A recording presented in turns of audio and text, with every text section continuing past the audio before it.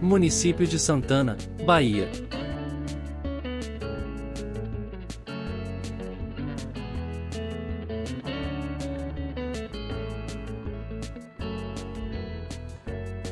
Aqui está localizada a Gruta do Padre.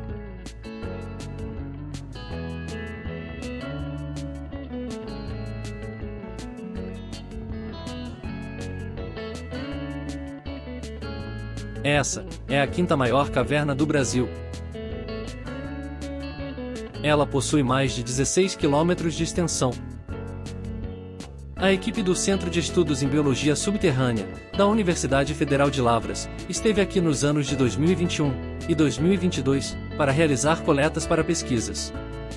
A ideia do trabalho foi, através de coletas em transectos e quadrantes, tentar entender como o ambiente da caverna afeta os invertebrados que vivem ali. A pesquisa mostrou que a distância da entrada e as diferentes regiões dessa grande caverna são extremamente importantes para os animais que vivem nela.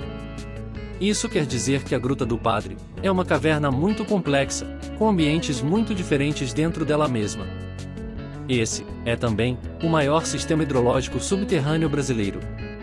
Aqui corre o Rio Santo Antônio, um afluente do Rio Corrente, Aqui também são encontradas 115 espécies de invertebrados.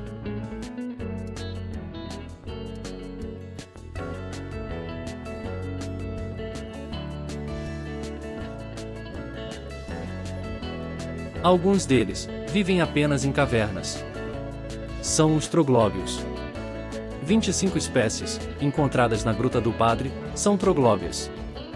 Esses são isópodas, também conhecidos como tatuzinhos. Nessa caverna, também são encontrados grilos. Diplópodos, também chamados de piolhos de cobra. Aracnídeos, como opiliões. Baratas. Coleópteras, conhecidos popularmente como besouros. Caramujos, chamados gastrópodas e até minhocas troglóbias. E pequenos palpígrados.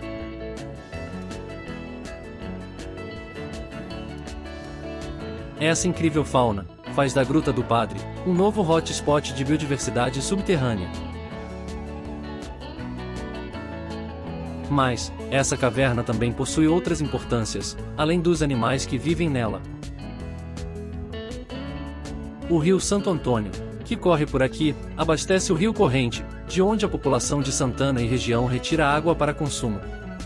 Vale lembrar que a Gruta do Padre é uma caverna com diferentes ambientes e diferentes animais, assim, precisamos proteger não apenas uma única área dessa caverna, mas ela como um todo. Por isso, proteger e conservar a Gruta do Padre e seus entornos é extremamente importante, tanto para os animais que vivem nela, quanto para a população de Santana e região. As cavernas são ambientes incríveis, cheios de vida, então, vamos conhecê-las, para então podermos protegê-las.